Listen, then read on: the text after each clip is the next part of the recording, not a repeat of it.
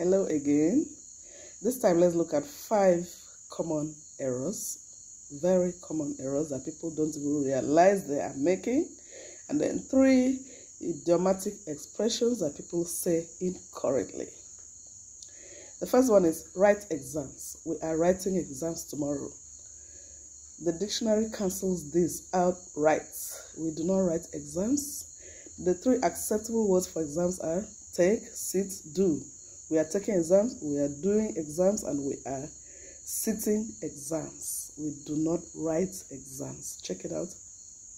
Number two, I was not opportuned. Opportune is an adjective, it's not a verb, so you cannot add a D to it.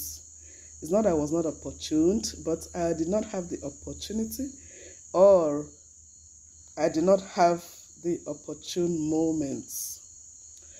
Number three, bare minimum. You often hear we have to try to reduce COVID 19 to the barest minimum. There's nothing like barest minimum, it's bare minimum. Number four, good afternoon. People think afternoon ends at 4 p.m. The dictionary says afternoon ends about 6 p.m.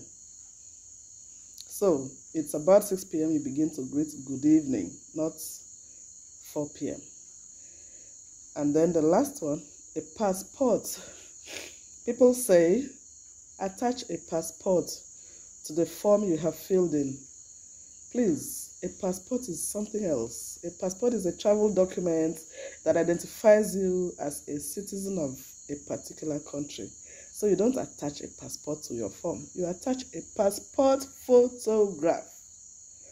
You attach a passport photograph. Next, the three idiomatic expressions you often hear. She had this job on a platter of gold.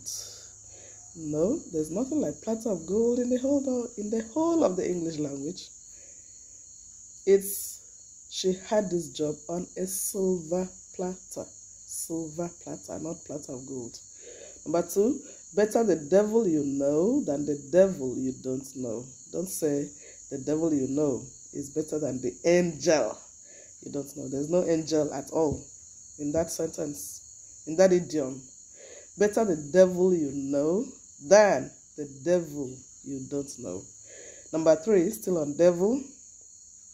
The devil makes work for idle hands. It's not an idle hand is the devil's workshop.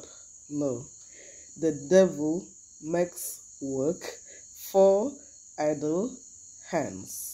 Have you learned anything again?